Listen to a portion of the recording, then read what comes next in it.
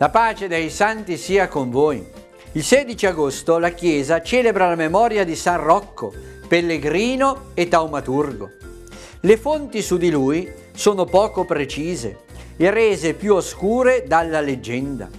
In pellegrinaggio diretto a Roma, dopo aver donato tutti i suoi beni ai poveri, si sarebbe fermato ad Acqua Pendente, dedicandosi all'assistenza degli ammalati di peste e facendo guarigioni miracolose che diffusero la fama di Rocco.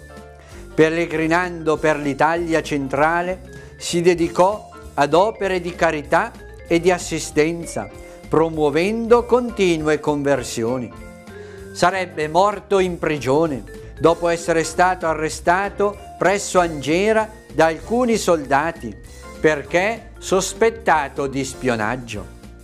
Invocato nelle campagne contro le malattie del bestiame e le catastrofi naturali, il suo culto si diffuse straordinariamente nell'Italia del Nord, legato in particolare al suo ruolo di patrono contro la peste.